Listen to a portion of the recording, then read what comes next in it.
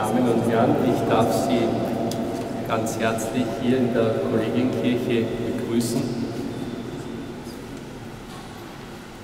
Ich habe es ja schon einmal gehört und weiß, wie fantastisch das ist, was jetzt auf Sie wartet. Ja. Ähm, und es ist ein einzigartiges interdisziplinäres Konzertprojekt, das nicht zustande gekommen wäre, gäbe es nicht den Stefan Höllwert, der hier alles fest die Fäden in der Hand gehabt hat und das Ganze zu dem heute geführt hat, was wir erleben dürfen.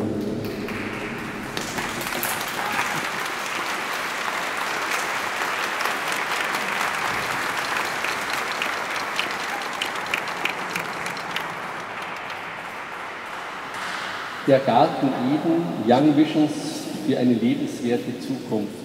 Was würde näher liegen als diese Sehnsucht nach dem Paradies, nach dem, wo alle sich gegenseitig achten und schauen auf das, was uns trägt, nämlich unsere Mutter Erde, die hier über uns kreist und immer heller scheint in der dunklen Nacht. Was liegt näher, als es hier zu machen in der Kollegienkirche? Jener Garten Eden, den Fischer von Erlach von 300 Jahren hier herein gebaut hat, in seiner Vision des himmlischen Jerusalems, jenes Garten Edens, der am Ende der Zeit für uns alle da ist. Nicht im Jenseits, sondern wir es als Aufgabe haben, unsere Welt zu schützen, unsere Gemeinschaft zu pflegen und Frieden zu schaffen. Und so darf ich Ihnen vorstellen, was Sie erleben. Sie erleben vier geniale Stücke von vier genialen Komponisten, die sich mit dieser Thematik auseinandergesetzt haben. Und aufgeführt wird die Musik vom Diabelli Orchester des Musikrums in Seekirchen, das hier hinter mir ist und fantastisch spielt. Und sie haben eine visuelle Darstellung, eine visuelle äh, Verstärkung des Ganzen von der Tatklasse des WAG in Salzburg und Sie hören Texte, Texte von Schülerinnen des WAGs und des Polytechnikums Halle. Und so wünsche ich Ihnen alles Gute, eine gute Stunde, lassen Sie sich ein, öffnen Sie Ihr Herz und gehen Sie als Friedensstifter und Stifterinnen hinaus aus diesem Raum. Dankeschön.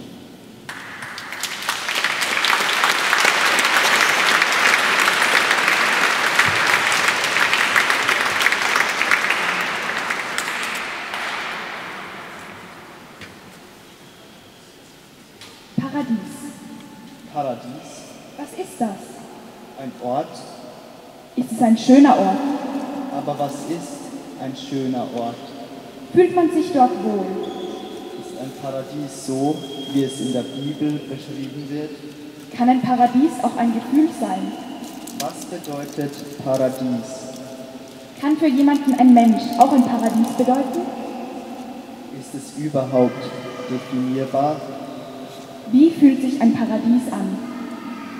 Ist es da warm oder kalt? Ist es groß oder klein? Gibt es nur ein Paradies oder vielleicht zwei, drei, vier, viele? Wie stellst du es dir vor?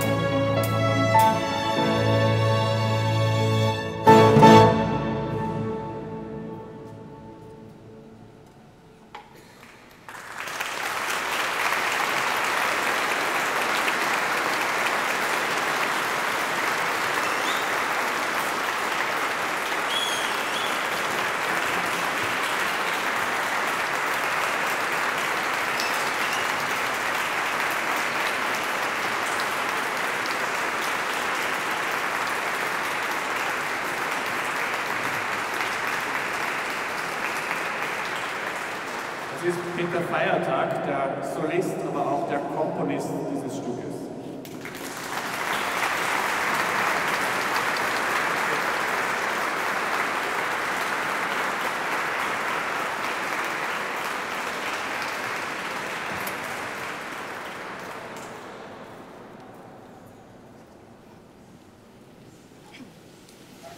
Das Paradies.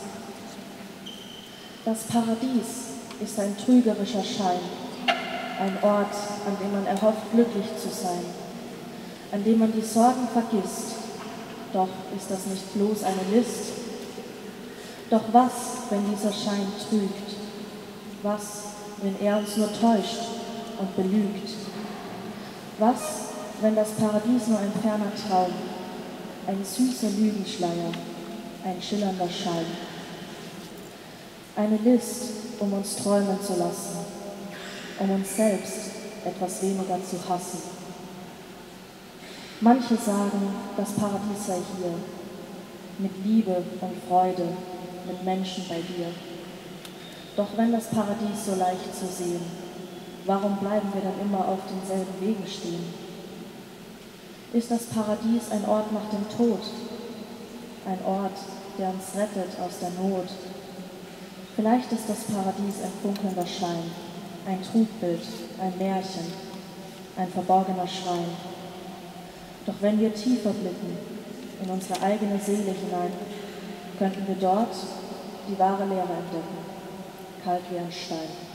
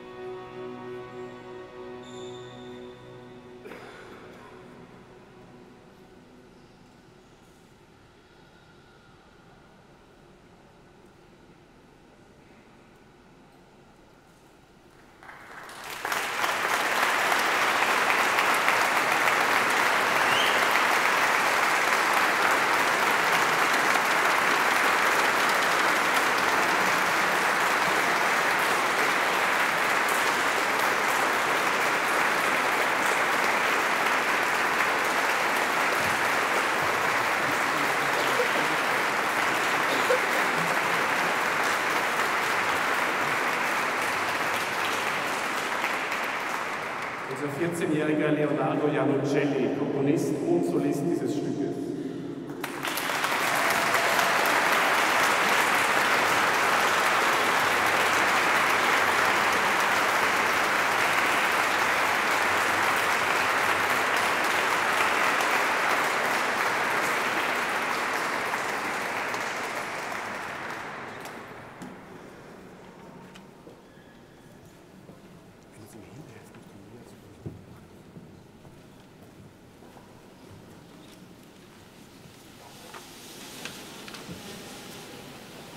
Warmes Dschungellicht, Wassertropfen glitzern hell im Morgengrauen.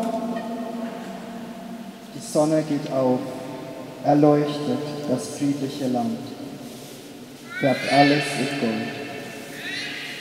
Oder doch Inseln, Papageien fliegen umher, weißer Sand am Meer. Das Gras liegt im Wind, Adler gleiten durch die Luft, ewige Ruhe. Endlose Freundschaft, nie vergehende Liebe, immer Hand in Hand. Von Laura Fersterer, Isabel Wiethal und Elena K.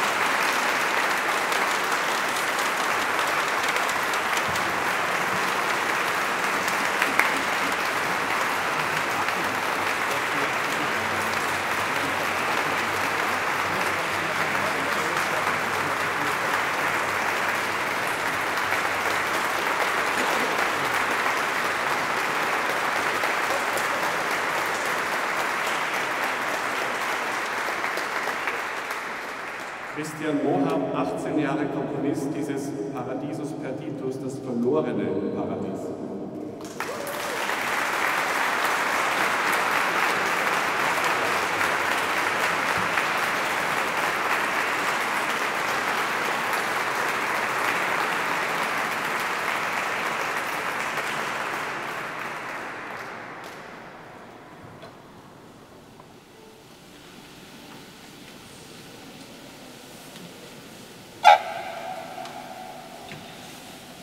Paradies. Ich liege in weichem Gras. Jeder Muskel in meinem Körper entspannt. Meine Lieder sind ganz schwer. Ich sehe nichts und doch alles. Vereinzelte Lichtstrahlen suchen ihren Weg durch das Laub der Bäume und wärmen einzelne Stellen meines Gesichts. Ich spüre einen sanften Luftzug über mein Gesicht haschen. Er trägt den Frühling in sich. Seinen Geruch, seine Wärme, seinen Neuanfang. Mein Körper liegt immer noch schwer auf dem weichen Gras.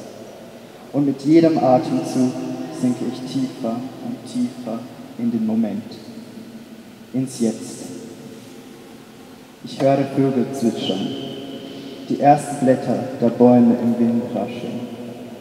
Meine Augen sind noch immer geschlossen und meine Mundwinkel beginnen sich langsam zu heben. Ich verspüre Freude, Freude über das einfache Sein. An nichts denken, nichts tun, einfach nur sein.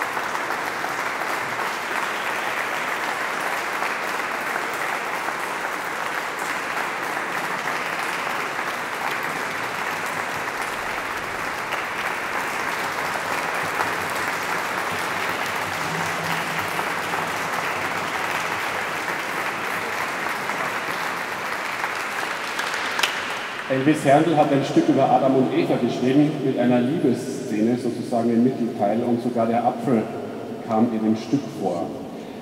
Elvis Herndl, 18 Jahre, ebenfalls Solist und Komponist dieses Stückes, Garten Eden.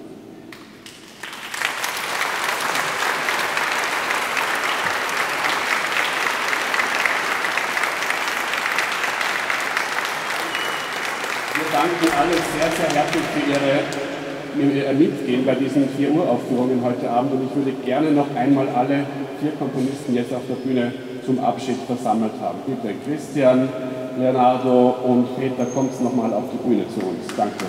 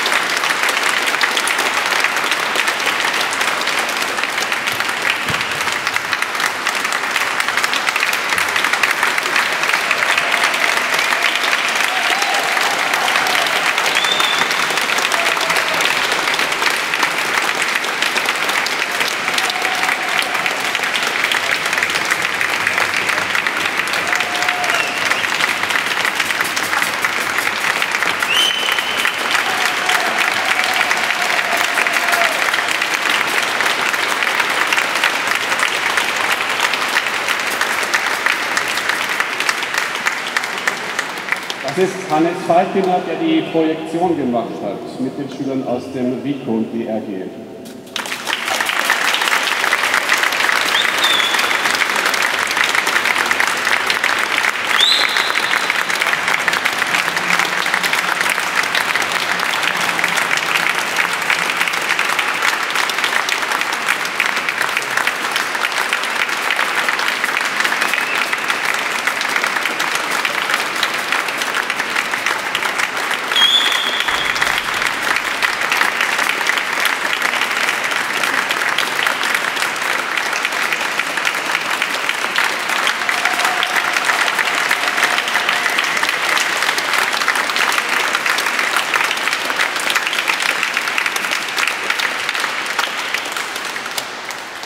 Dankeschön.